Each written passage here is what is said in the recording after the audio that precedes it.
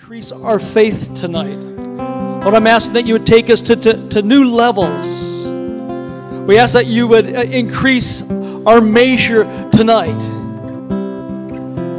And Lord, we just pray let there be high expectation. Let there be an abundance of revelation in this, in this place tonight. And Lord, we welcome the angels tonight.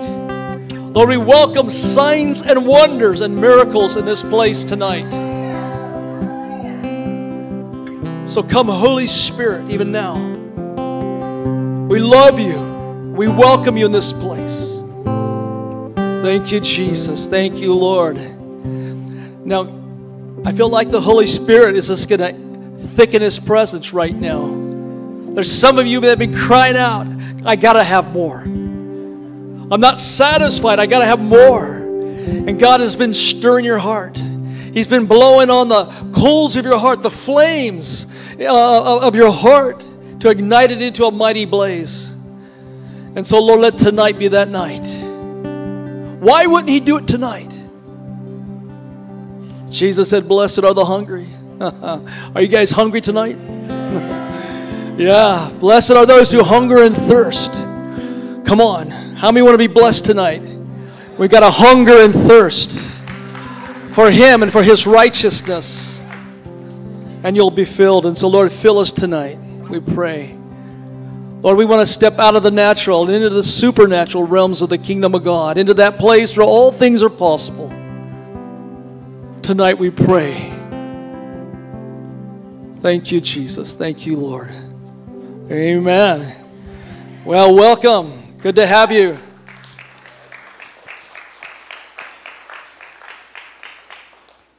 I think we're going to uh, receive an offering right now. We, are the ushers ready? So we're going to receive an offering. 100% goes to Kat Kerr Ministries. And um, if, you, if uh, you're making a check, make it to the healing rooms.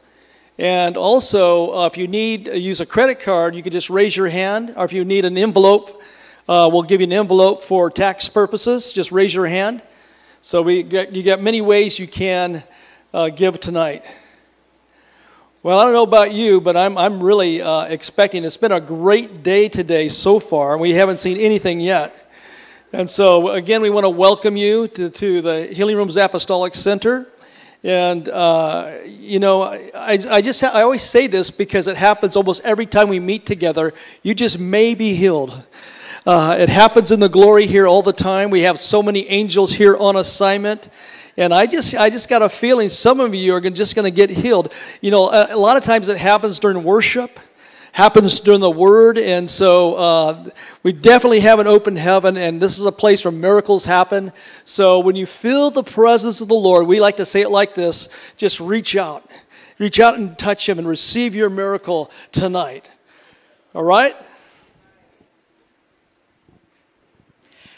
I've been excited. Um, we we're living in supernatural times, and this has been a supernatural week. I'm sure everybody in here knows that Paul Cain went to be with the Lord last Tuesday evening, and today was the afternoon when his body was laid to rest in Santa Maria, and uh, just different signs and wonders happening throughout the week. And and so I know that we're in the midst, we're always in the midst of the supernatural, but it just seems like something special. And so we invited Kat a while ago, and of course, nobody but God knew that Paul was going to go home um, and actually be buried on the first day when she's speaking. And I know that it's not a coincidence. I don't know exactly what it means. Maybe she does, but I, I know stuff like that is not just a coincidence. So we're really blessed and honored, Kat, to have you here again. And I'm sure, how many of you have never been in a live Kat Kerr meeting? Oh, a lot of you. Good. You're in for a treat. So wanna, you can make your way up, Kat. You need to come up around this way. And yeah, you ready? oh, and while she's coming up, somebody dropped their glasses. So if that's you, you probably can't see, but here they are. we'll want to put them up here. So, Kat, um, well, pro- those of you who don't know, the Lord's been taking her to heaven for several years and showing her things and bringing her back and allowing her to share with us. So let's just welcome Kat Kerr.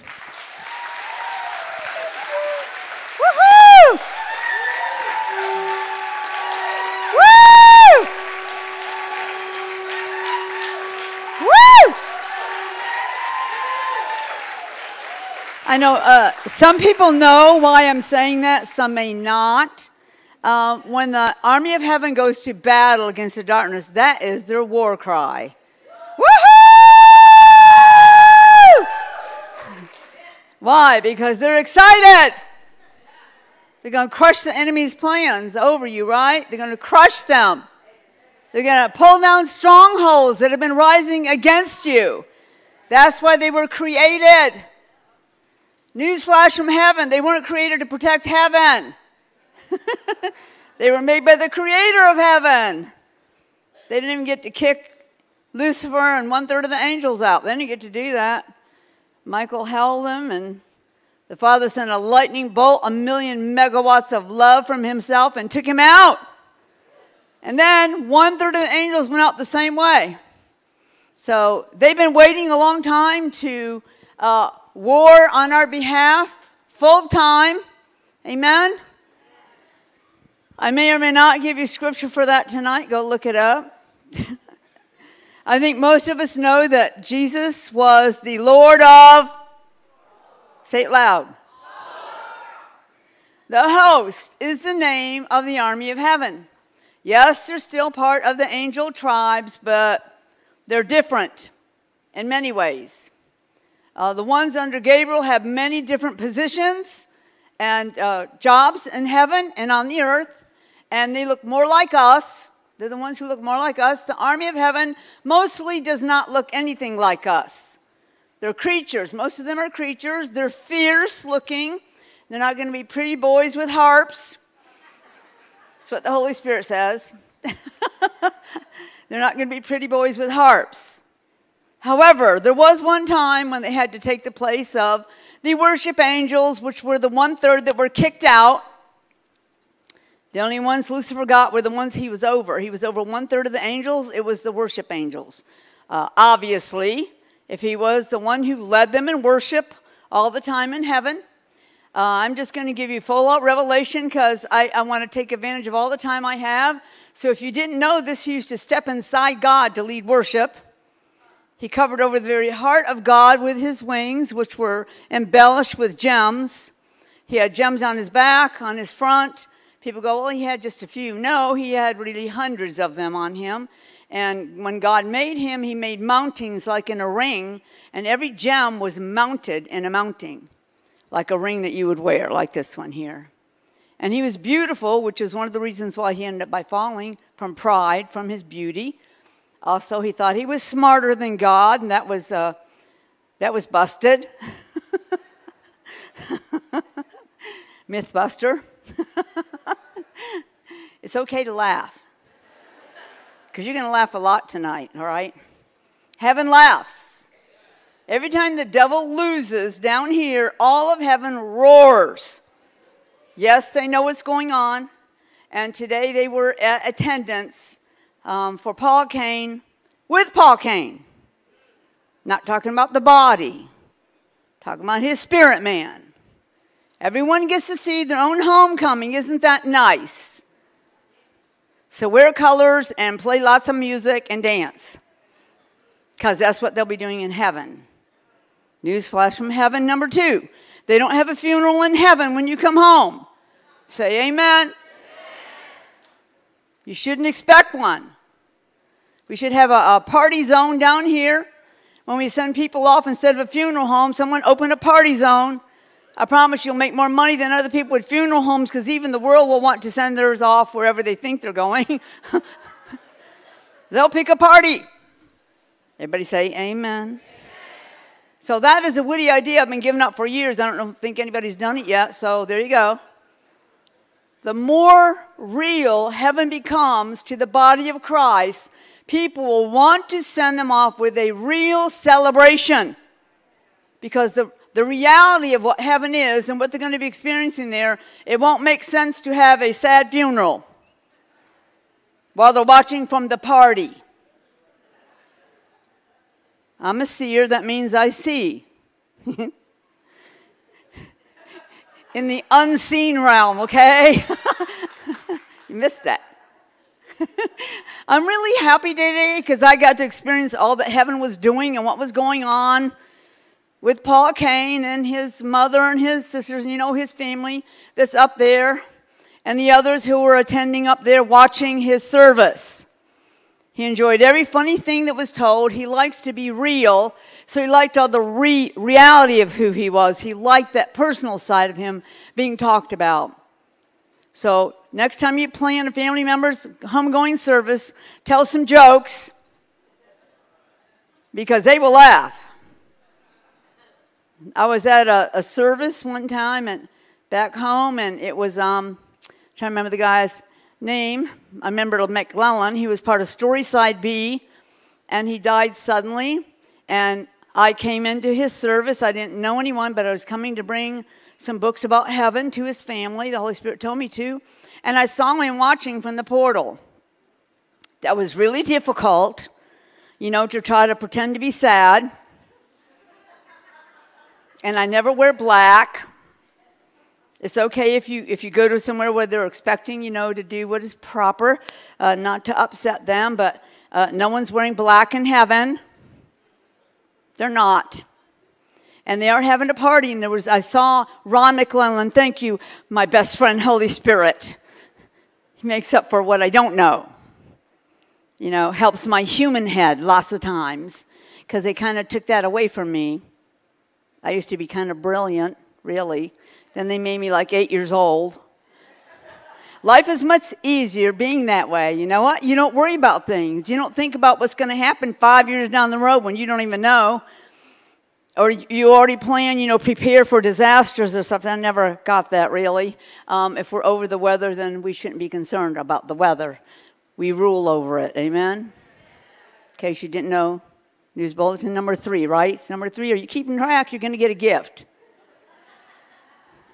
Number three, Jesus was over the weather. We are joint heirs. We get to be over the weather. Isn't that great? You're going to see that more and more. I'm serious. You're going to see it more and more. Things stopped, like stop. Can't wait for that to happen. Meteorologists might have to get another job. Not making fake news, by the way. It don't work now, and it's not going to work when it's not actually happening. What was I talking about? number three, what was number three? oh, we're over the weather. Jesus was over the weather, and he tried so hard to teach his disciples. He really was, in case you didn't know, they were in boot camp with him for three years. It wasn't just watch what I do, it's learn what I do and then do it. Right? He was going to go, he was going to go back for some R&R, and he had to make sure they understood how this whole thing works. Being a joint heir with Christ. What do you have? We have. He said so himself. The things I did, how point blank can you get? The things and the works I have done, you will do. Well, you forgot the first part. You will do also. Okay, these are just the works. You got to do the works. Say, we got to do the works. Then we get to do the greater. Say it louder, okay? Like you're excited. well, I don't just try things, I actually do them. There's a difference. I'm just going to try. That means you're not making much of a plan about that, right? But doing it, the works I did, you will do, say do also, and greater works you will do. I think that means we're supposed to be doing something. We're entering into a busy season. A busy season operating in the supernatural, not just talking about it.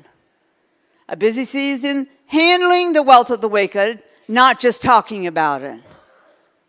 A busy season living not just existing, doing the more. Say the more. The more is amazing. Oh, you're getting better.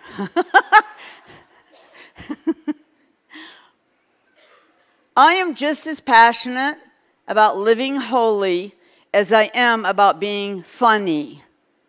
And I will tell you why. I have to I have to give you both sides of heaven. There's two sides in heaven. There's holy profound. The other whole half of heaven is funny. Say funny. Everybody have they've thought forever and for ages that it would be boring in heaven maybe because all they do is worship. Let me tell you, you stand in front of him, it's not boring. Whether you're staring, feeling like you're going to faint, melting to the ground, you know, you feel like you don't have breath in you because of just being near him. Yeah, it is an honor, a privilege, and amazing when you worship, and it's not normal. Not even worship is normal in heaven. You ride on it. You create things as you're worshiping Him. You're creating when you worship. You're giving the devil a big black eye and a very bad day when you worship Him. You are shredding, bashing, and crushing his fake little wannabe kingdom in the second heaven when you worship him. It's amazing from doing one thing for him, to honor him, to bless him, to adore him, what destruction you do against the kingdom of darkness. That's my favorite second thing. I don't do demons. I do do Jesus, though. I love him. I honor him. I can't do anything without him. It's because of him and with him, and it is his plan. Even the pink hair is his plan because he's not boring. There's nothing boring about him. There's absolutely nothing boring about heaven. There's nothing boring about our future. That's like in the next few days. The more you believe things are real, the more real they will become. And that is actually a spiritual truth. It's a spirit realm truth. The more you believe it is real and talk about it being real and write about it being real and actually acting in it being real, the more real it's going to become to you. It's the original realm, it's the eternal realm. It's not the temporary realm. This is a temporary life for you. It's a temporary place to live, a temporary to do things because this earth is not eternal.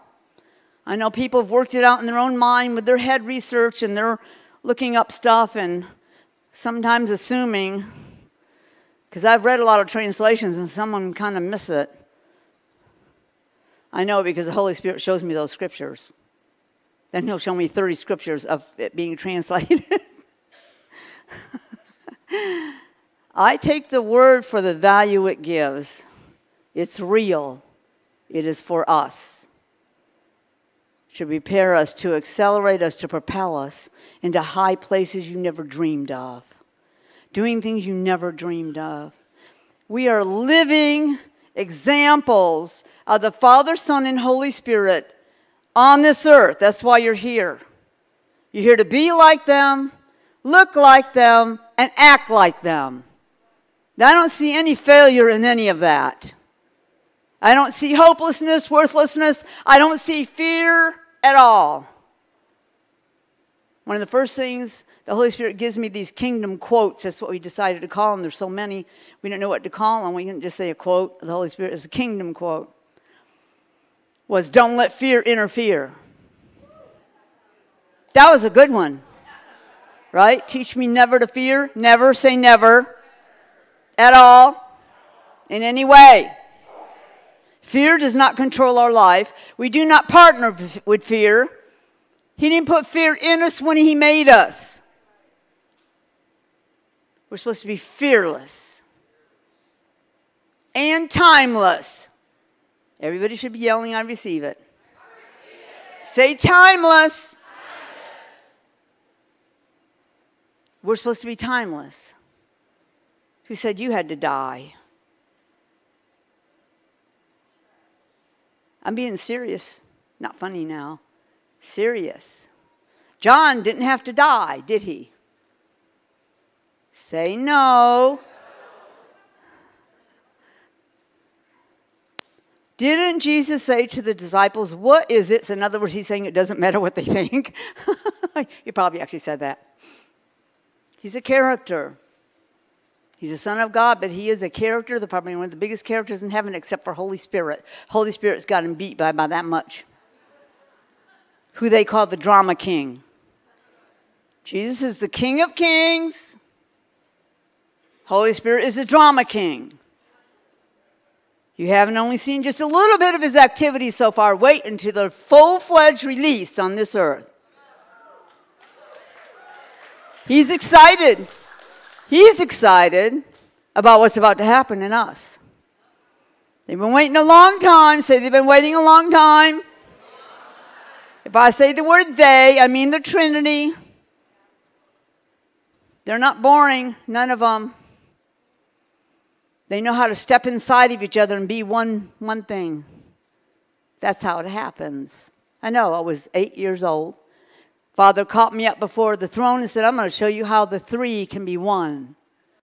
And a five year old can understand it. Man's head knowledge has expanded it and expanded it, and all kind, I could use every other kind of word explaining that, you know, multiplied it, whatever you want to call it. Made it look amazing, powerful, and hard to understand. It's simple. They can step inside of each other. Jesus said, Father, I pray that one day that they be one even as we are one. Because he steps inside his Father all the time.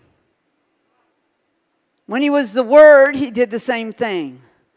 I didn't forget I was only on number three bulletin, by the way. I got some more. I was the least likely person to anyone on this earth would have chosen to do this. Okay, I'm from a tribe, like a real one 15 people and an alligator,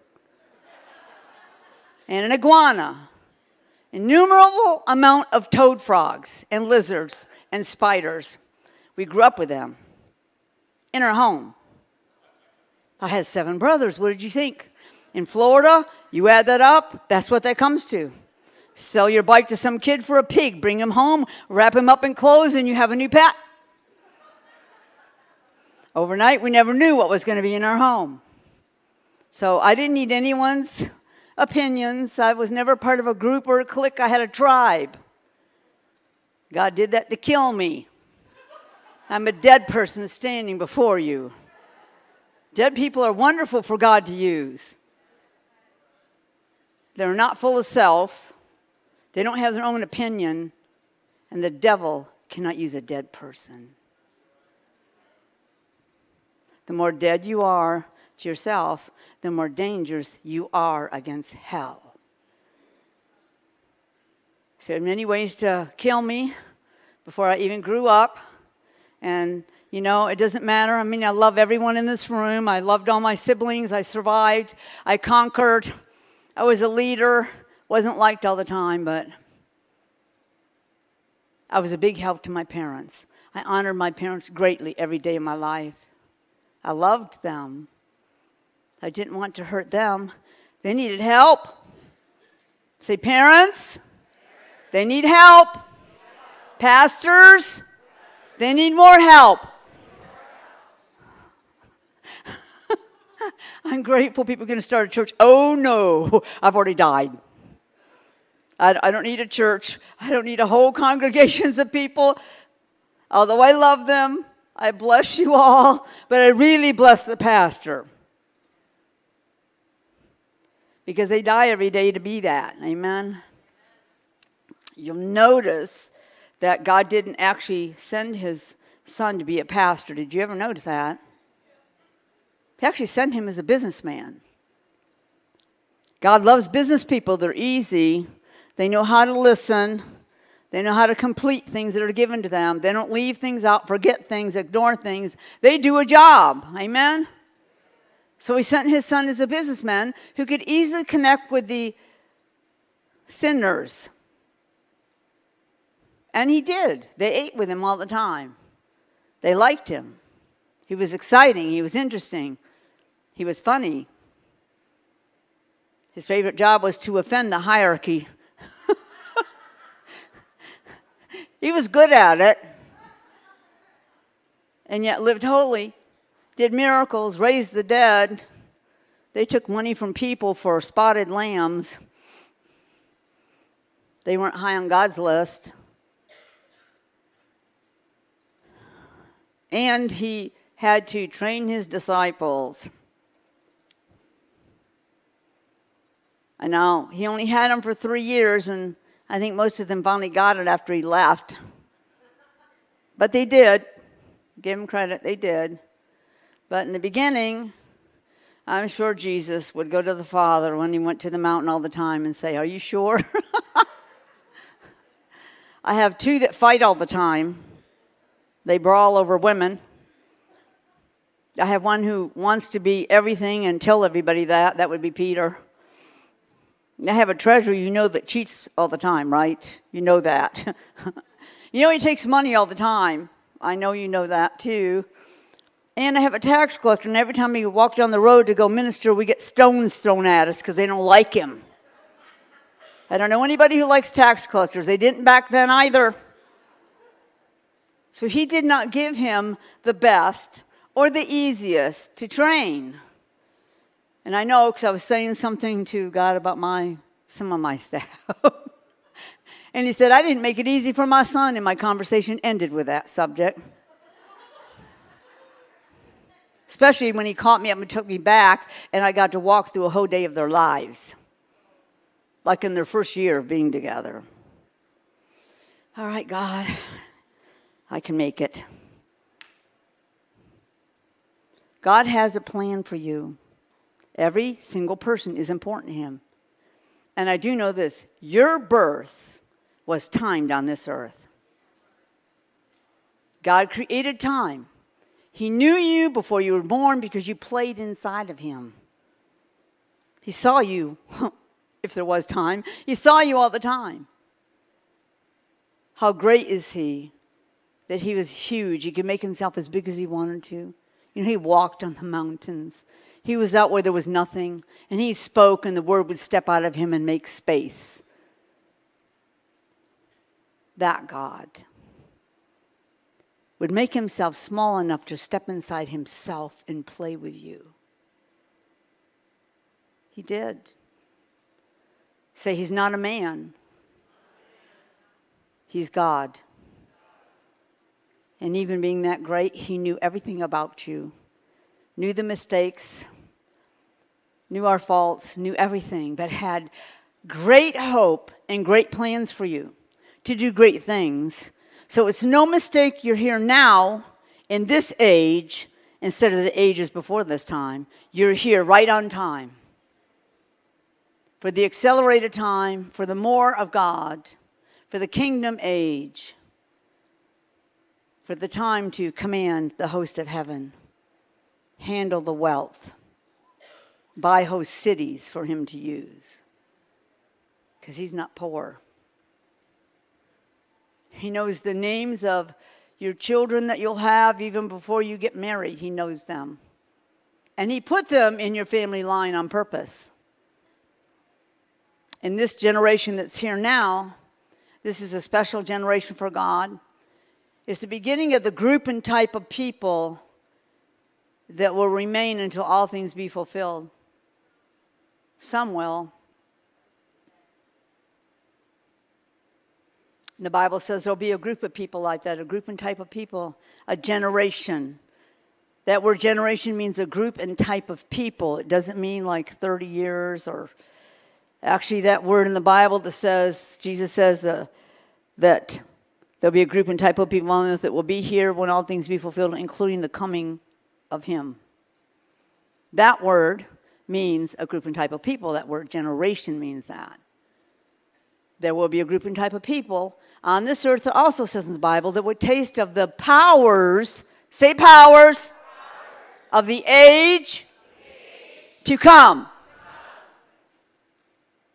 That would be the millennial age. Of course, there's people now that say there's not going to be a millennium. I go by what the Bible says. There will be a millennium, there will be a tribulation. God calls a bump in the road. It will happen. That's on his timeline in heaven.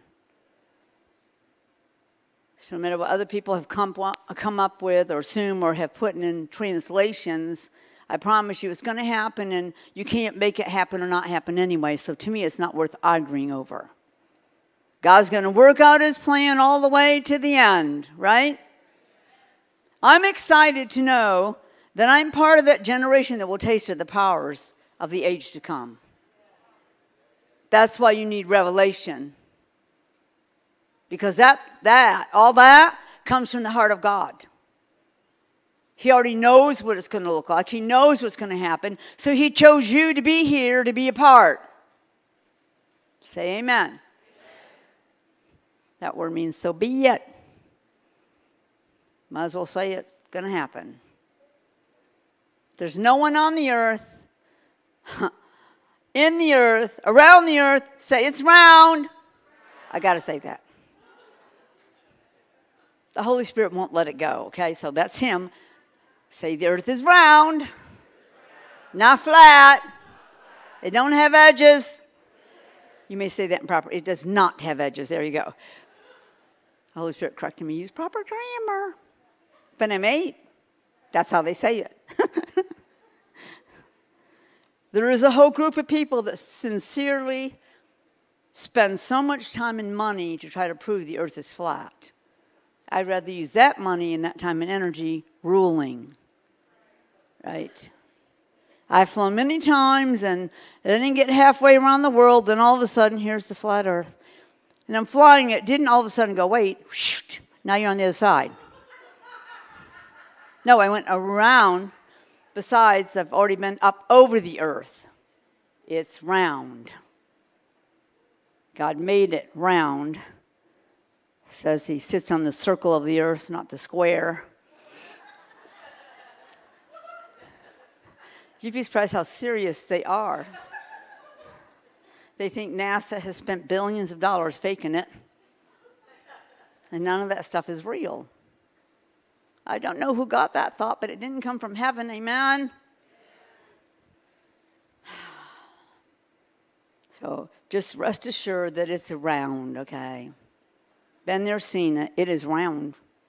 And when I was shown it, God caught me up in space, up into like like first space, not. I've been way up there, but the first time He caught me up and showed me the Earth, He put a grid. You know, like a grid. You know what that is? Yeah, a grid. Was round, and He put it right on the Earth, hooked together. And then he began to draw things on this grid that was his plan that was called space planning. That was also the Holy Spirit's joke. Because out in space, put the grid and plan, right? He uses every opportunity to be funny. So he did show me his space planning for like the next hundred years. That was probably 15, 20 years ago when he showed me that. That doesn't mean the earth is going to end in 100 years, because I've been taken further than that. And no tribulation had happened. I know some people think it's supposed to be right now. Well, if it was, it would be. People get to heaven, they all find out, man, we wasted so much time sitting on our rapture rug.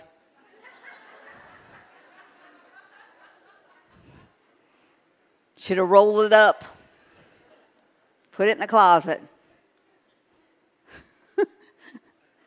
well, you've, you've been around a long time, you realize I went to church every day it was open. And every day someone said, Jesus could come tomorrow. and in my, I'm like little, this is like little, I had these thoughts. Why would he have all these plans in the Bible and go, okay, now forget that, we're just all going home? I mean, he gave my dad a long plan. I mean, my dad knew him. He gave him a long plan. I'm like, he's not going nowhere. We, we haven't done what God told us to do yet. And God said, well, many people are in fear and they know one day that will happen, so they want it to come. So to them, that's logical. They don't understand a lot, especially in the book of Revelation. Say, Revelations means revelations. That means something you don't know. So God said, I'm calling you a revelator. Me, you know why he did that? So people couldn't call me a false prophet. they didn't know what a revelator is, so they didn't never say nothing against it. They couldn't say, well, uh, she's not a terrible pastor. No, we can't call her an evangelist. She doesn't go out and win lots of millions. We can't call her that. So, uh, Can't call her a prophet. She's a revelator. Don't know what that is, so we'll ignore all of that. A revelator is someone who reveals, like John did. Caught up, showing the future, the future. I don't know what that was. That was a Blinglish. Write that down and don't forget it. I know Jen is writing it down right now. If I say a word, she goes, You did a Blinglish. That means you blended some words together, okay? I won't explain it. yeah, you've been there. I'm sure people have been there, right? You've been there. Well, at least I'm not talking about Moses putting the animals on the ark tonight. That's Moses and Noah doing it together. One time I even said Adam did it. I did hear from people. we'll have a bloopers thing one day and just put them all on there. Go there and look at it. But now I forget what I'm talking about. Who is listening? a revelator. You're right. So, see, I, I hear them all the time. I have to, right? when you're eight, you need help. So he didn't pick me to be a professor. You know, I was graduated middle of my class, like literally middle. We had 600 graduating students. We have a lot of people come to Florida to go to school. I guess they like it. We're pretty laid back there, you know. And uh, so it's a nice place to live if you want to come live someplace different. Good, go, good vacation time. Uh, try not to come in August really hot. so, being a revelator is a little bit different. Uh, that usually does mean prophet, just so you've wondered. You know, uh, John was. Amen. And it's okay, I love doing that. But I love being with my Father, my Heavenly Father, Him, all the time. I know why Jesus loved him so much. I know why he wanted to be with him. I know why he went away to the mountain to spend time with him. I know how hard it was for him to leave home and come here. Okay, he was not poor. He didn't live poor. Say, Jesus was not poor. He became poor when he left heaven. Because heaven is certainly not poor. There's nothing poor up there. Nothing. Splendor and wonder and beauty. You couldn't afford to build the house that your mansion that your mother lives in. You wouldn't even have the right substances to make it. The walls sing. Literally, they sing. They leave, go on tours, come back, they sing hello to them. The trees uproot themselves and they come and sit in your house and be your friend for a while. They go back to the friendly forest. Is this okay? It's not going to be normal. No, you can't be normal if you've been going to heaven for 20 years. You'd be normal to heaven. They tell funny stories a lot. Bob Jones hasn't stopped.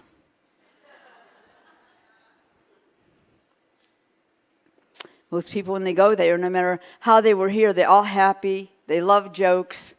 They love to tell funny stories, hear funny stories. They love it. They make plans for people before they come. They knew Paul was coming. They all knew Paul was coming. There's a place you go in heaven where you find that out. And you go in this beautiful, amazing building and these supernatural monitors, much better than ours, but these are good. And you can see who's coming home, who's about to come home to heaven. Everybody starts getting things ready. They're so excited. They're, they're beside themselves. They want to make sure they're all there. Say all to meet you at the gate. They have a huge celebration. They, they plan one themselves. Heaven plans one. The throne room plans one. Uh, people have celebrations in the street over someone coming home. Say home. It's because that's where you came from. We were loaned to the earth for a while.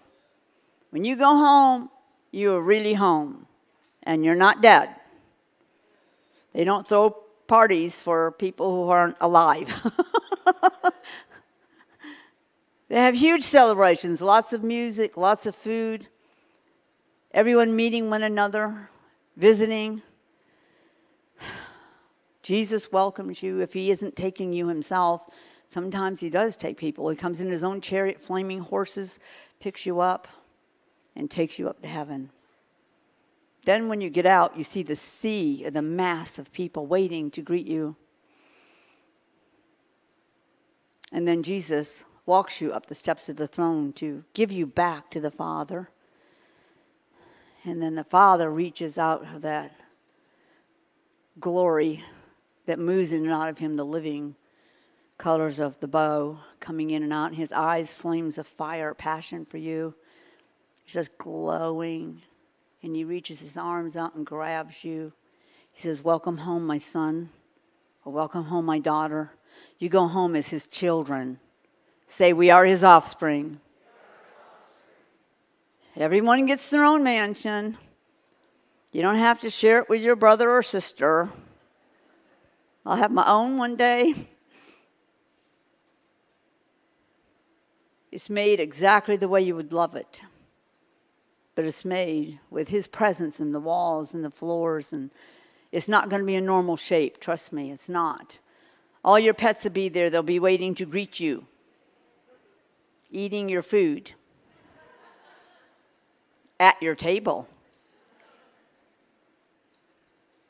your family members will all have gifts for you for every year you've been apart they will get a gift that represents that year and put it in your mansion after your welcome home party in the throne room, which could last for quite a while.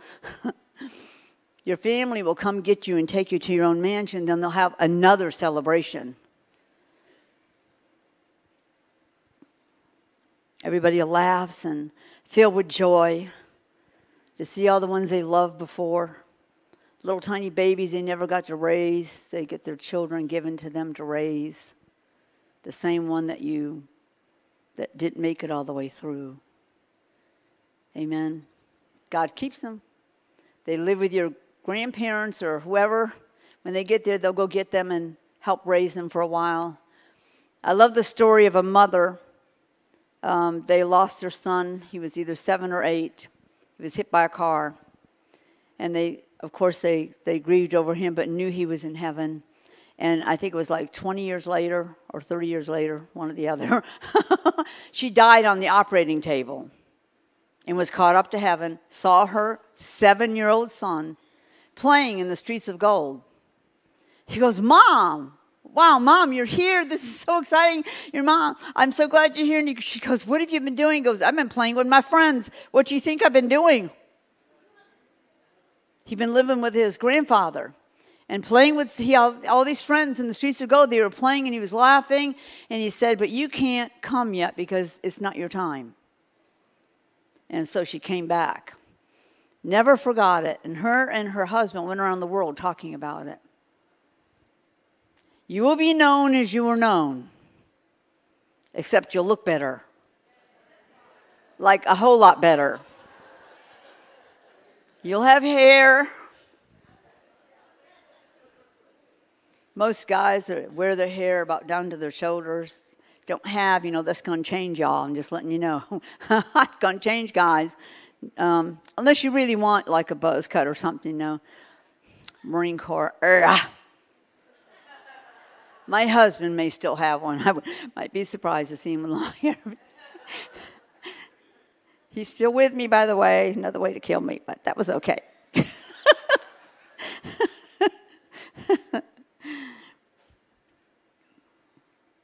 It's all worth everything. It's worth it all.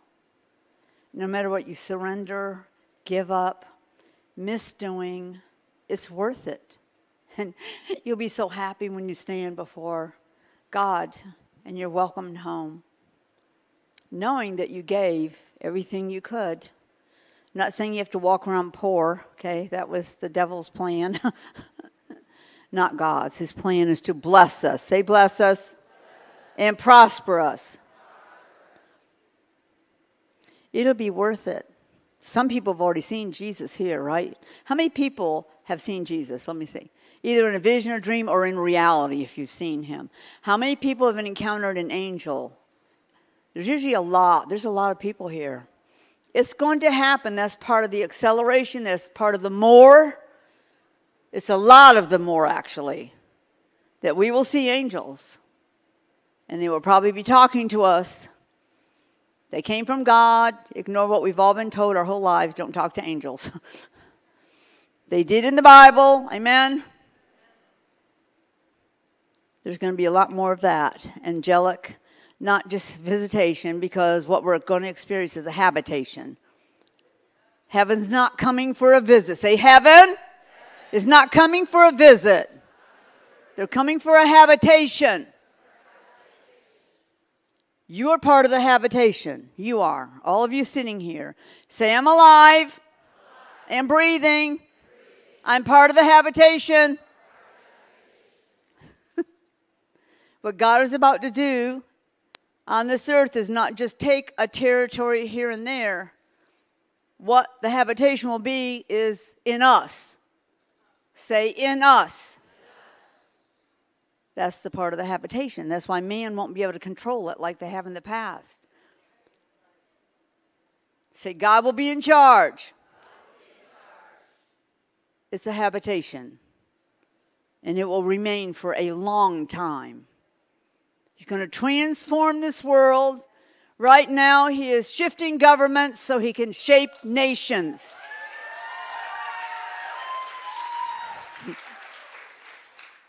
It's part of the platform he's giving us in the habitation. He's got platforms for us. That's a place that we will operate from and speak from, shake things, cause things to be released, to change for Him. It's not a lot of how it's always been in the past. That's why it's a new thing. Say a new thing. It's time for the new thing. It's where we will be ruling. It's one of the purposes that Christ died for us. That's why he went into hell and wasted it. Took back the authority and dominion that Adam had given away. He gave it to us. He also gave us power over all the power of the enemy. Say, we have power over all the power of the enemy. Say, he did not give that to the angels. That's why we need to command them. They can't just go tear up any demon they see. They just can't do that. They do it in, in the past, it was from answers to prayer, and prayer is never going to go away. It's never going to go away. He loves prayer. Prayer is powerful. It's going to get even more powerful, especially when you command part of an army of heaven and they pull down strongholds for you and crush the plans of darkness. We need this. Say, we need it to rule in this day. Say, every king gets a kingdom and gets an army. If we're part of the kingdom, we get part of the army. Did you ever see a king, a natural king on this earth, try to rule without one? They wouldn't go very far, would they? They'd be overrun, beaten up, things stolen, things killed. Sounds like the devil. He comes to kill, steal, and destroy. That's what the army prevents. Heaven's army was designed, created, and made, every one of them unique and different, but they are fierce. They have one job the ones under Gabriel have many different jobs, many different positions to do many different things. But, but Michael is over one specific part, and that is the army. They have a headquarters, they have barracks, they have training fields, they're all in the sky of heaven. Ran maneuvers for ages. In the past, Jesus would go send uh, Michael to gather the army from the far ends of heaven to fight on behalf of Israel. People say, Amen. Amen. It's in the Bible, go read it. Sometimes they even fought the flesh. Did you know that? Yeah, some of them could fight the flesh. In this time on earth, it's mostly battles in the spirit, battling the demonic, even those in the high places, the principalities and the powers, the things, the beings and wickedness in high places. Many of those high places will be shredded and pulled down. Say, Our weapons, they are mighty to the pulling down of strongholds. That's one of the things the Army does. I can only share what I have been told, and I can only tell you what I have been shown. Shown and told. That's what I talk about. But they didn't just show me things and tell me things, I had to live it. It was something I was trained in, it was for the body of Christ. So I had to live it to let you know it's real and it really does work. If you follow heaven's protocol, Say on earth as it is in heaven. That's what we've been asking for for generations. We should have expected it. Jesus bushwhacked us all. He did. He told me. He said, I knew if I taught them that and said to say that, eventually it would come. It would be the one thing I could get them to agree on no matter what denomination, they ought to declare that prayer because they need us to call things in. Is that right? You have not because you ask not. If you've ever said to Jesus, I'll give you anything you want, no matter what it is, where it is, what time it is, I give you permission to use me. Has anyone ever said something like that? Let me see your hands. well, get ready. Because he's calling in those words. Yes. It's going to be amazing. Say amazing. amazing. Heaven is amazing. It's going to be amazing here. We can live on earth like they live in heaven, which is mainly His will being done His way. Say his way, not our way. That's part of the more. He's going to do new thing, he gives revelation and then ways for you to use that revelation. It means a lot of things are going to change. So if you're stuck in your own mind or your own mindset of what you think is going to happen, and because it didn't, it's not going to, you need to just throw that away because he does have a timeline in his own throne room. And those dots on that timeline is when his things are going to happen, regardless of what anybody on the earth is doing. It's his sovereign will. And what right now, this time we're in, is on his timeline. It is. Many of the generals are going home. Doesn't mean they'll be oblivious to what we're doing. That means they'll know all about it after they get there. And the thing they'll be celebrating is us who are still down here being a part of it. So God really needs us right now. Isn't that amazing? He doesn't make mistakes. He didn't make a mistake choosing me, although I probably would have never chosen. Except when he asked me, I said yes. Say it's important to say yes to being chosen. Many are called, but few are chosen because they don't choose. That's why many aren't chosen. He can't make you do it, right? You're called, you're being called, but He can't make you do that. You have to choose yes. And when you do that, you're saying, Yes, I want to be chosen. And then you're chosen. What does it take to be chosen? Say, Choose yes. Then you got to be willing. He makes it a little bit, you know. Got to be willing and obedient. Say, willing obedience next.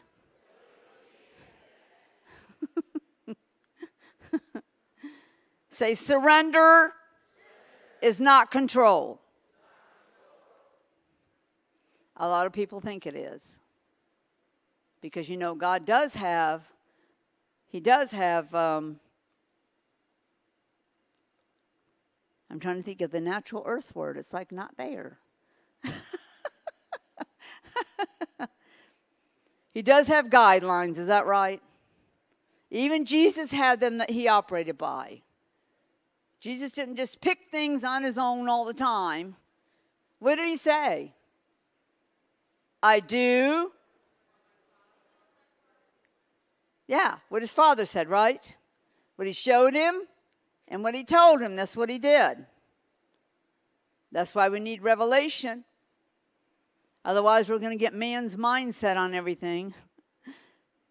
And that hasn't worked well, has it? He's not going to abandon the church. I've heard all kinds of things when people's going to abandon the church, it's just going to go away, burn down, we don't need it anymore, let's get rid of it. Well, he's not saying that to me. He's going to set it on fire. Amen. This is a time to be willing and obedient if you want to eat the fat of the land. And Jesus did ask us to pray about one other thing. Pray that my people, say, we are his people. Be willing in the day of his power. Well, obviously, if he's going to give us revelation to operate like he does, and part of that is power, he said so. I'll give you power over all the power of the enemy. There's one right there. He has given us power. And he does have power. So if this is the day of his power, the biggest thing, the most important thing is remember the willing and obedient thing. What he asked probably won't seem natural or normal to you. Wasn't natural or normal to ask me to have pink hair. I wasn't a pink hair person. If I liked it, he wouldn't have asked me. it's better than camel hair. I'll have pink hair any day over camel hair. It smells, it's stiff, not comfortable, and he had to wrap himself in it, okay? My pink hair is a test. It divides asunder the spirit from the flesh. So those who trash or bash it are in the flesh. Are we supposed to walk in the flesh? Say no. We're supposed to walk in the. So people don't have to tell me if they're hearing their flesh or hearing their spirit. It's the way they react to the pink hair. Now, people who like pink hair, they think is amazing, so the world must be passing their test because they all love it. That's amazing. You look amazing. What do you do? I'm a spokesperson for heaven. I've been there. And then they all say the same thing. They don't say you're a liar, you're a false prophet. They don't say. They go, "What was it like? What was it like? Is it beautiful? Is it amazing? Is it real? Is is God real? Is there a God?" And I go, "Oh, yes, there is a God." And you lived inside of Him before you came here. Okay, that makes them interested, not bashing. Amen. Try that next time. You did live in him. You moved in and out of him. He was your very existence. You had your very existence in him. That's why he knew you.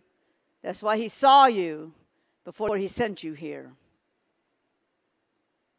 You're wonderfully and perfectly made. Your soul is one of the most amazing parts of you of all. You change your very life by what you feed it. You change how you feel about things by what you say yourself. If you don't like you, then change. Change what you're saying, change what you're watching, change what you let other people say around you because you need to guard your heart. What goes in there is what you will become. Amen? If you've never heard that before, it's revelation on your soul. Your soul is what you are. People say, well, I'm this and that. No. Adam became a living, say it loud. He became a living soul. That's how important it is to God. That's why He gave you a soul. You could choose yourself. You could choose with your will. You could think about things, choose it, and then you do it, and then your emotions display who and what you believe with your life. It's probably one of the least talked about things in the church is the soul. Growing up, I always heard that it was bad. I went, but God made it, right? He, it's one third of us, is that right? We'll always have our soul. How, why would He make it bad? It's a powerful thing and it's a good thing because you can fill yourself with God and then you'll be like Him. You can talk about Him, then you really believe He is real. You can feed your soul 24 hours a day. Your body gets fed a few times a day. Your spirit man gets fed once a week. Most people go to church once a week. But your soul is fed all the time by what you watch, what you say, what people say to you. You can be crushed by tragedies and you can't you can't forget it. You hang on to it. Somebody can wound and hurt you and it stays there forever. Your soul has layers and it collects things in those layers. That's why you have a memory. But your layers are supposed to be used for different, something different than that. Every layer of you looks like you. Who wants revelation on the soul? Let me see your hand. I was shown one. And the Father spent four hours with me, earth time. I never usually know, but I looked at my clock and I was talking to him. Then he just catches me up and begins to show me a human soul, what it looked like, how he made it, why did he make it that way, how people can cause their soul to prosper all the time, and then they'll live in divine health. There was a requirement about that prospering. It says, even as your soul prospers, you will prosper and you will be in health. That word be means live. It's called divine health. So I, since I learned about this, the Father taught me about that. He said, People can loose, with the keys of the kingdom, you can loose things out of your soul. When you loose it, it's gone. And that doesn't matter what it is. He started giving me this very long list of things that you can loose from your soul. And he said, I know most people bind the devil with the keys to the kingdom, but they mostly never talk about the loosing thing. What are they going to do with the loosing key? And yet, the binding key is more important to bind the things of God to your soul because then they can't be taken away. What you choose to bind to your soul about God will never be taken from you.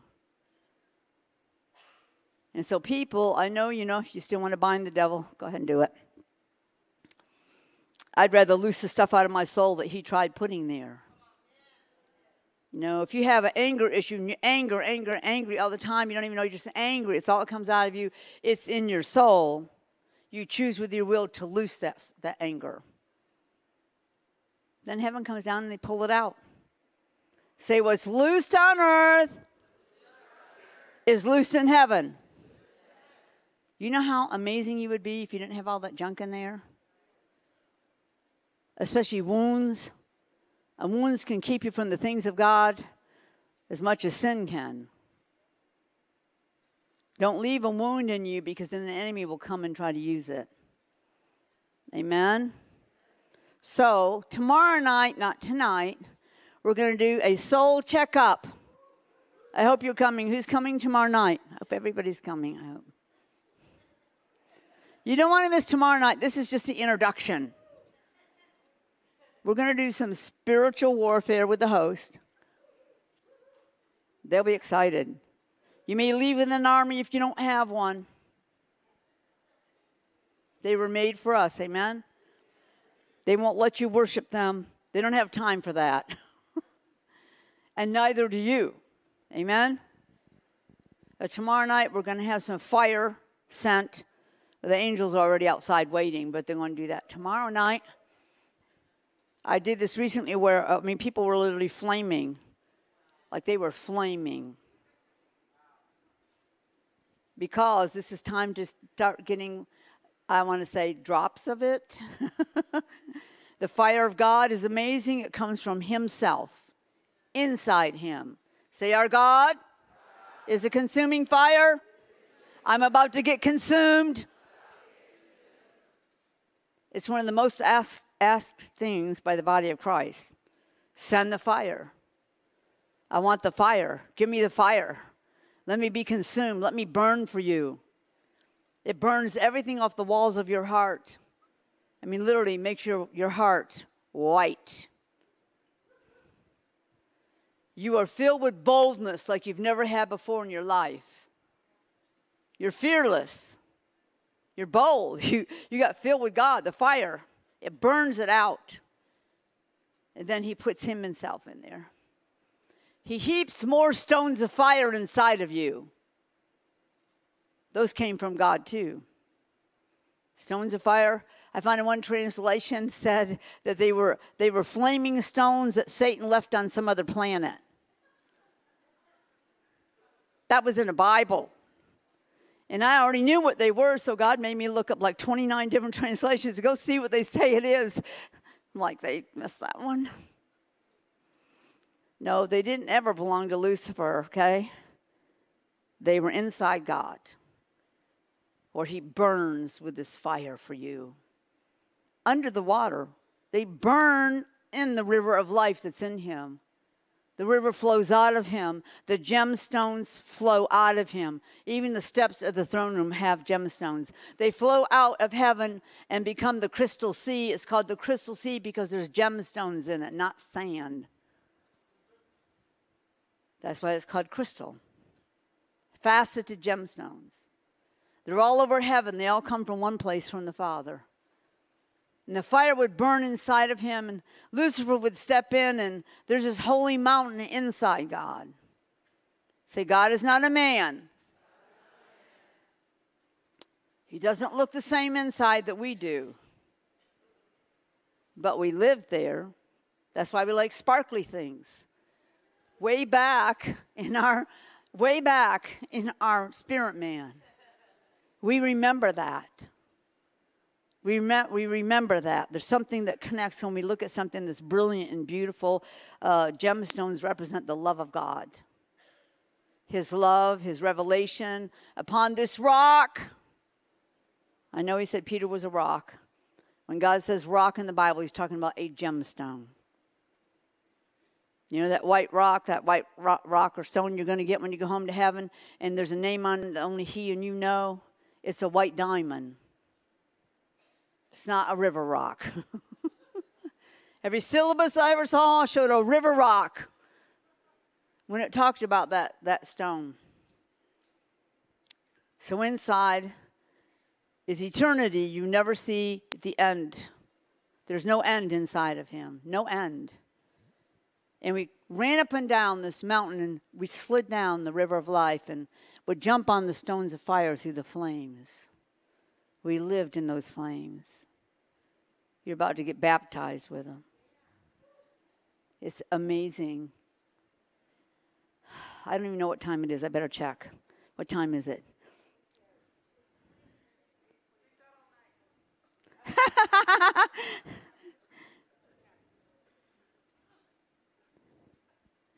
oh, my my see Jen, she's at it. You didn't finish talking about Ron McClellan. Remember, I was at his, his service, right? And I, I come in with these books, and his parents and grandparents are sitting on the front row. I didn't know him so, but I knew a couple people there at uh, Celebration Church. They let me come in, and I just was going to wait till everything was over. And they were everybody with their line going by the casket, and he had this bright yellow suit on. I mean, bright with his big white tie. And, and he had the biggest fro I've ever seen on a human. They had to stick it down in the casket. And as I was walking up to, I was walking up, I looked up. And I was trying not to laugh out loud because there was an open portal and he was watching his service. And now this is a band, right?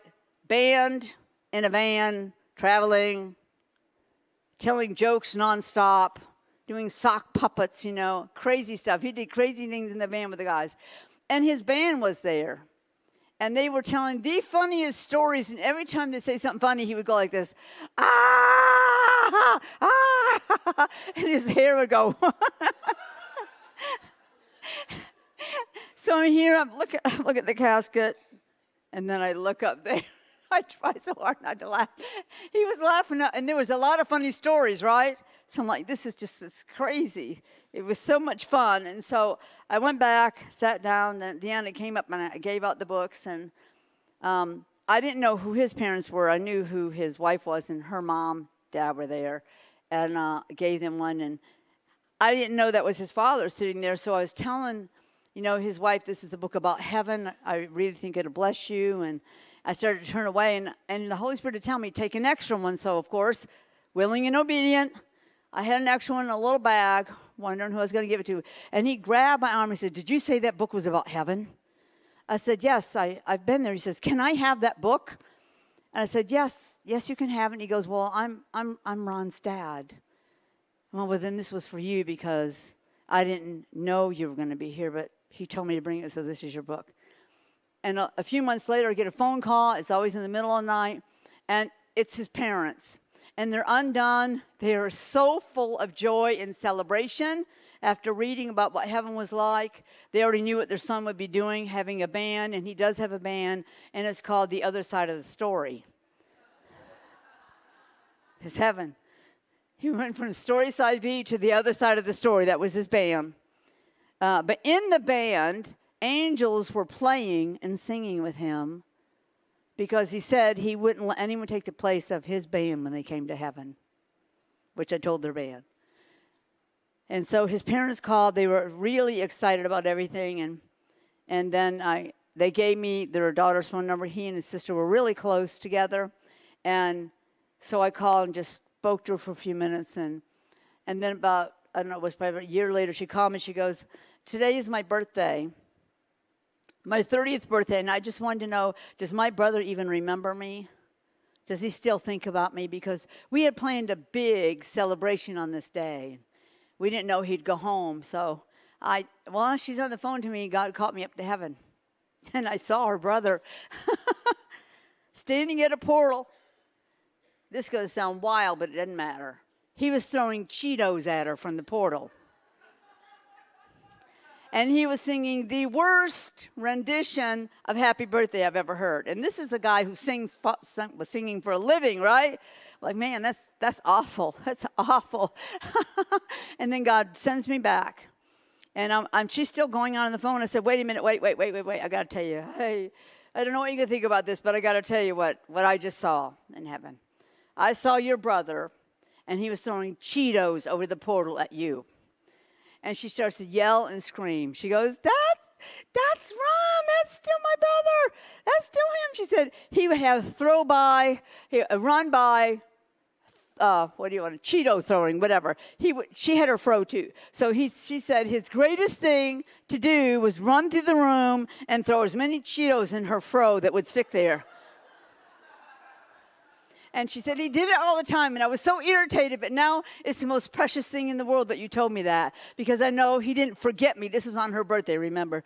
And I said, Oh, I don't know how to tell you this, but He, he sounded the worst I have ever heard. For someone who's anointed to sing, she said, Was it the worst happy birthday you ever heard in your life? I went, Yeah. She said, He did that every year too. So she was so blessed to find out she that he had not changed. He still remembered her, he was still himself, and she was so blessed by that. So now I've there, Jen, I've finished the story. I'm done with that. Okay. So I want to encourage you to understand that your family still loves you. No one has forgotten you. They're making plans for you. In this little vapor of time that we're in right now on this earth, use it powerfully to love, to forgive, and to be willing and obedient. I understand John, his last message love one another. That should be the thing we do the most. Amen. Don't forget to love. If you get a choice, forgive people who are bashing you. When you do that, it really does wound the demons. And it is our time to torment the demons. Say, it's our honor and privilege to torment the demons. Those demons asked Jesus, Have you come to torment us before our time? That meant there was going to be a time when they would be tormented. Is that right? But he didn't do that. He gave us power, right? So stand up for a minute.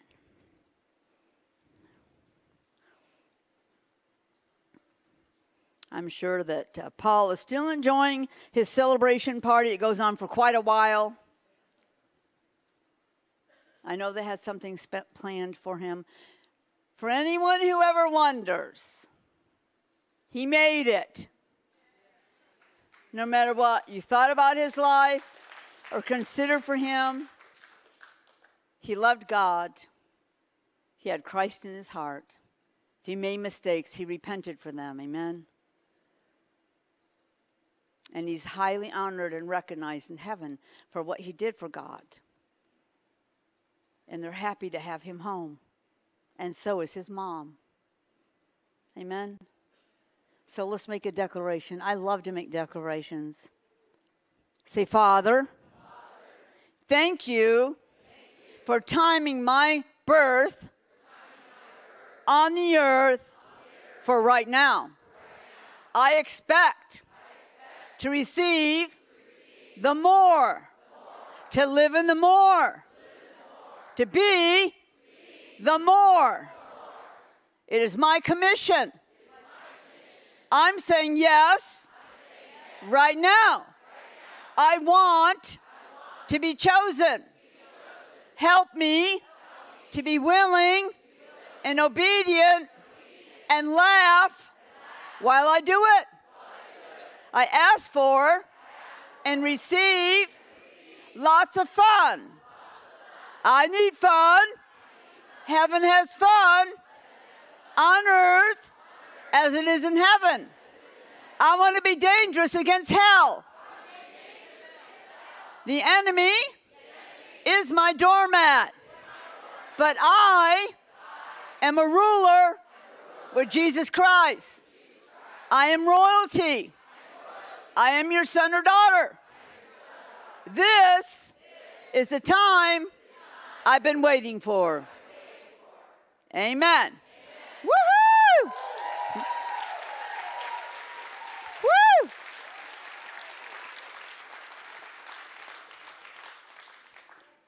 Amen. Sit down.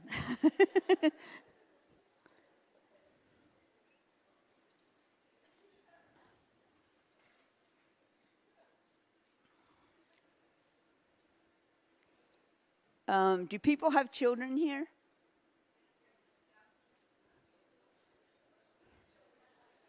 Okay.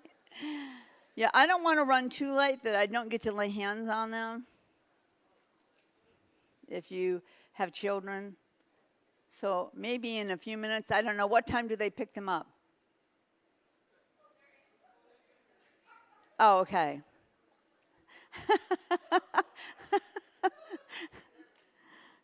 wherever they are. Okay. yeah, I really want to give an, I know I'm going to do an impartation tomorrow night, but I really would like to do one tonight. And I think instead of talking for another 45 minutes, I'd rather do that. Amen?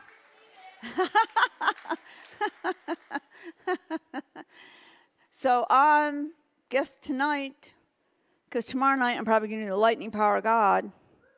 Uh, last time I did it, John G showed up. Um, that's who I call John G. Lake. He did. He came and stood right next to me. Other seers saw him. It was really zap bam time. but tonight I really want to give out a measure of the fire. Amen. I've had a measure of baptism in fire. And let me tell you, I've not ever been the same. So I want you to take it home with you. Let it burn on the inside of you. Don't let the fire go out. Uh, what you're really doing is preparing a place for more to come. Say more. more. Say, when I receive some of something from God, I can have more.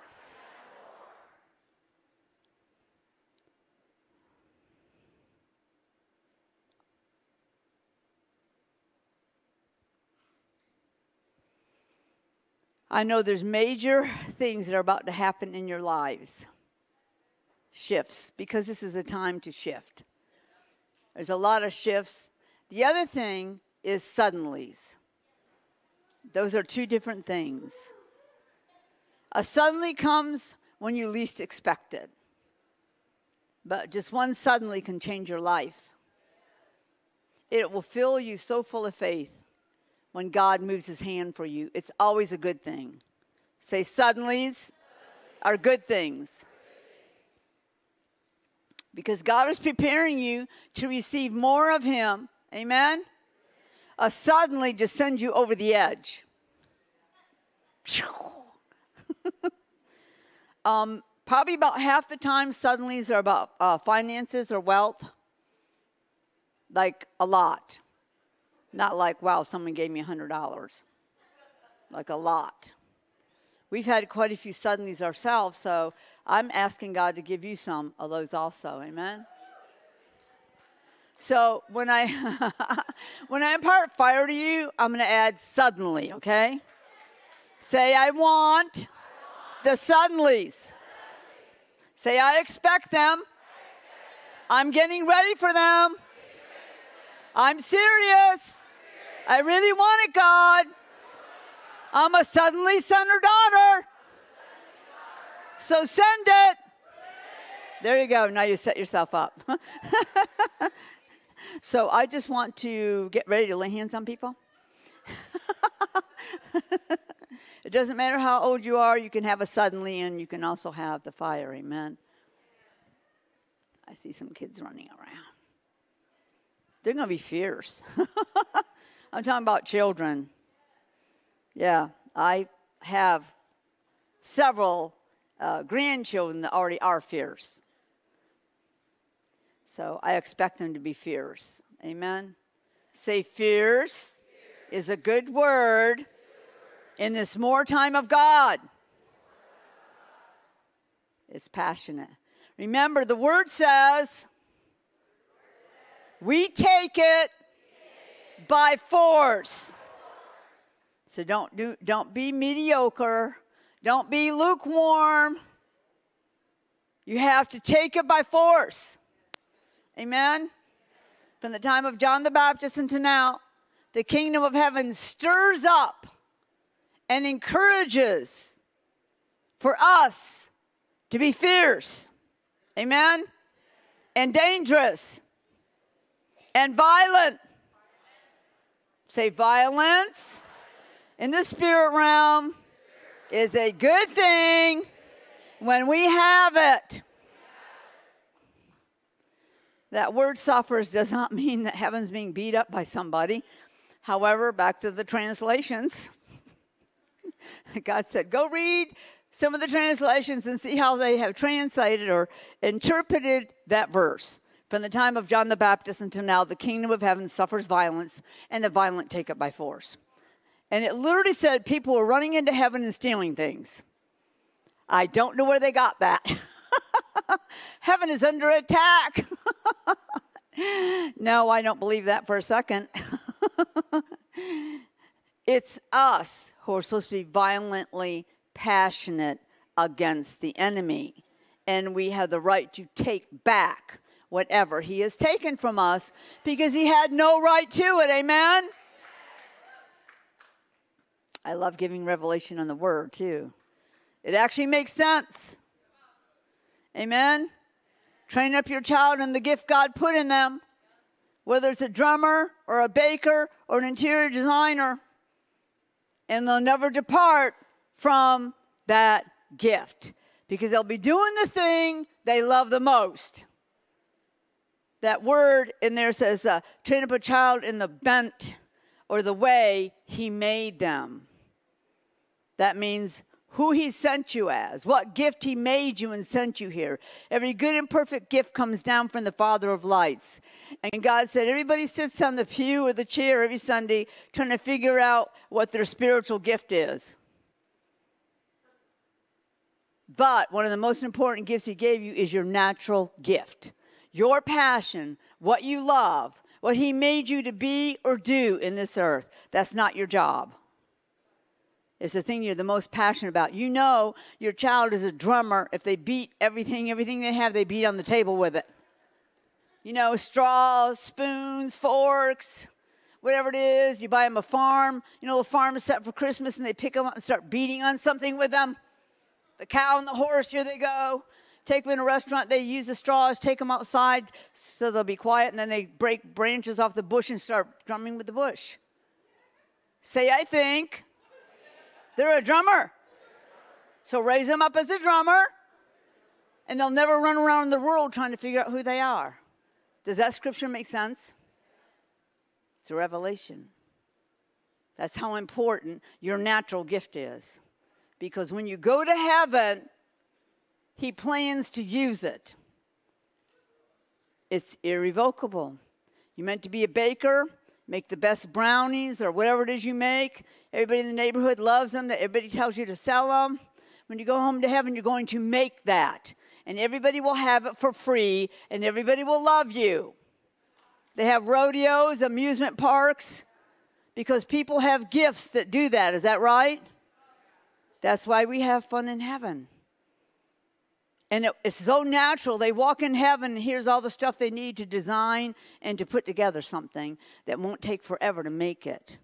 If you're going to be a baker as part of your mansion, you have a full out kitchen with supernatural devices to use and all the supplies you need. And then out in the front, you have a bakery where everybody comes by to eat your stuff. Jesus will visit you regularly. He has a sweet tooth. That's why he liked honeycomb. Remember when he served on the beach to his disciples? Remember he served them a meal? He gave them what? Fish and say honey. what did his cousin eat? Locust and it ran in the family. Say, I'm in the family. Now I know why I have a sweet tooth. Amen. Okay, we're going to do, we're going to do this. Amen. So I guess you can get people organized, unless I tell everybody to come one row at a time. And I'm going to come down here. You're going to walk up to me. I'm going to just zap you with the fire God. and then what do you want them to do next? Do you want them to come and sit? Yeah, Margaret's telling me. I couldn't do this without Margaret, or actually my team, really. I have a team. I have like 15 people. I don't do this by myself, amen. Every now and then I'm gonna go, okay, I'm sending you this time. You get up on the platform and speak. and so I really do bless my team God gave me, amen. using teams in this time. Uh, the day of the Lone Ranger is coming to a close. Amen. We're going to need each other. We're going to work together. Amen. And so I'm going to give this microphone to somebody. And then I'm going to come down here and lay hands on you. Don't forget to come tomorrow night. It's going to be amazing, exciting. Walk sideways, you'll never fall. and then I'm going to declare, uh, declare a blessing over you when we're, when we're done, okay? Unless I should do it first, because I don't know what you want him to do next.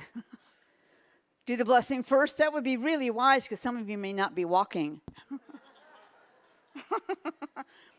oh, hold your hands out.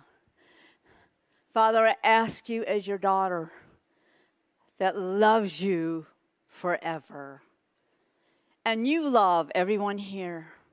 It is your heart to bless, to inspire, to empower, to get ready for some of the greatest days this earth will ever experience. I'm asking you from my heart to theirs to bless them abundantly.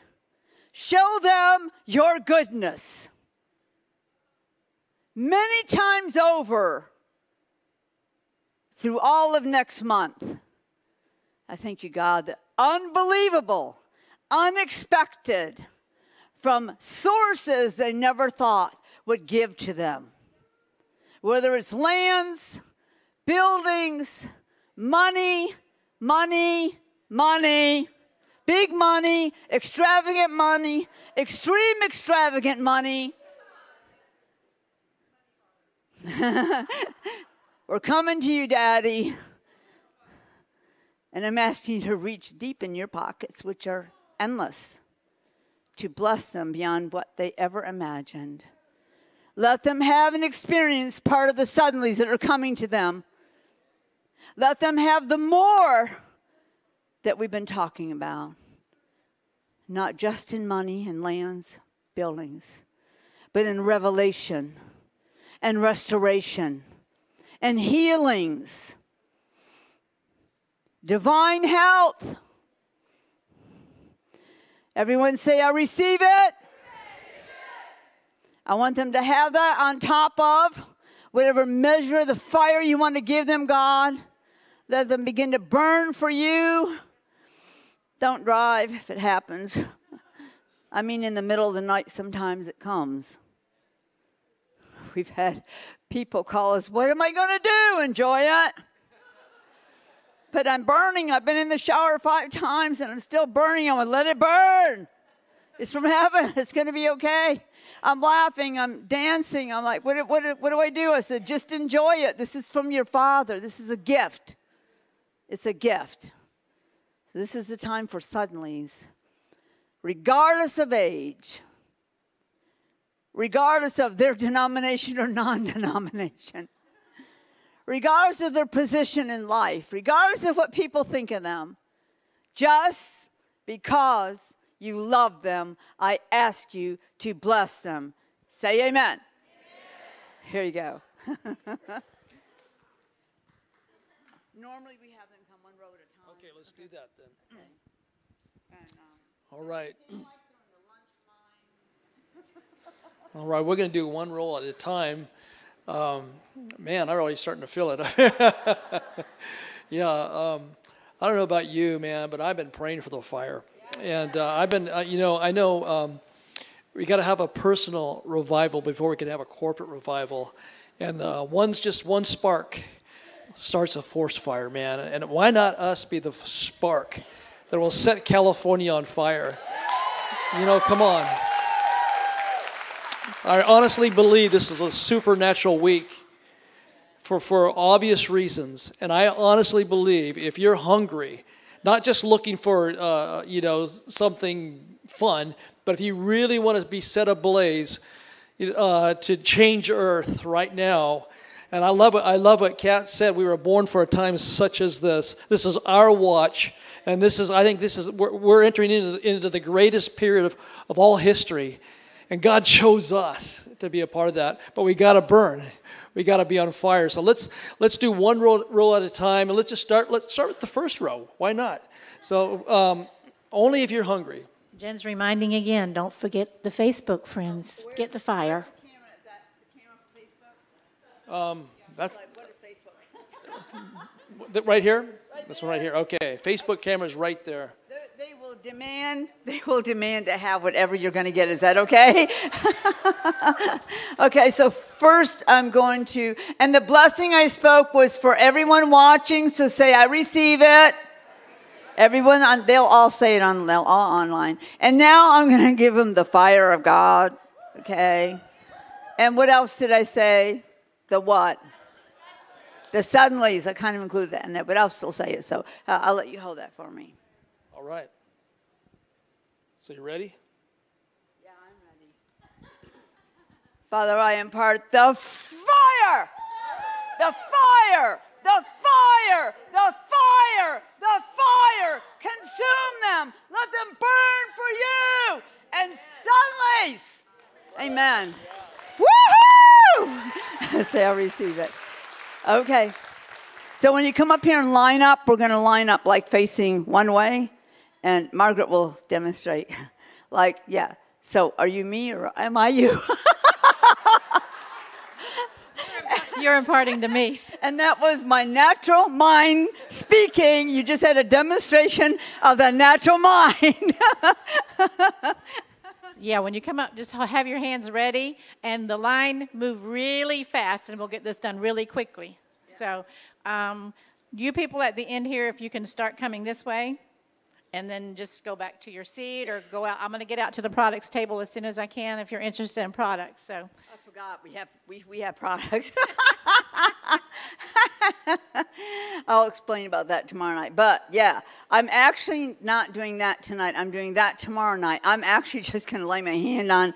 I'm laying my hand on you right here. Do I have permission? Yeah, I want to send it right in there, okay? I'm just going to walk up and I'm going to go, fire! I'm to go, fire, fire, fire! and then I'll go, and suddenly, there you go. Woo! I'm already getting wiped out, everybody. Okay, you ready? Oh, here we go. Okay. Father, I impart the fire, fire, fire, fire, and suddenly. I'm already hot one person. Doesn't mean you have to fall down, but if you do, we'll step over, okay? Father, impart the fire, fire, fire, and the suddenlies of God. Father, impart the fire, fire, fire, and the suddenlies of God.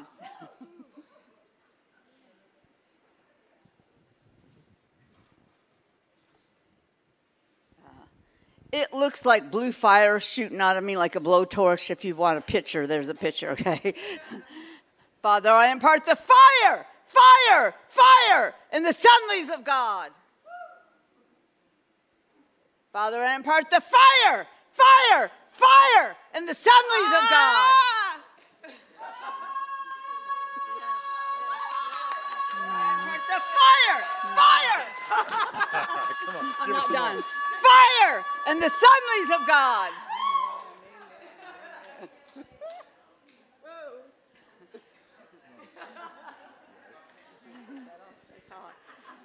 Father, I impart the fire, fire, fire, and the suddenlies of God.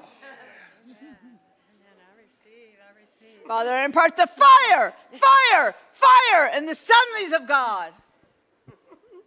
Father, I impart the fire, fire, fire, and the suddenlies of God. Father, I impart the fire, fire, fire, and the suddenlies of God. Father, I impart the fire, fire, fire, and the suddenlies of God. Father, I impart the fire, fire, fire, and the suddenlies of God. Father, I impart the fire, fire, fire, and the suddenlies of God. Father, I impart the fire, fire, fire, and the suddenlies of God. Father, I impart the fire, fire, fire, and the suddenlies of God. Father, I impart the fire, fire, fire, and the suddenlies of God. Father, I impart the fire, fire, fire, and the suddenlies of God.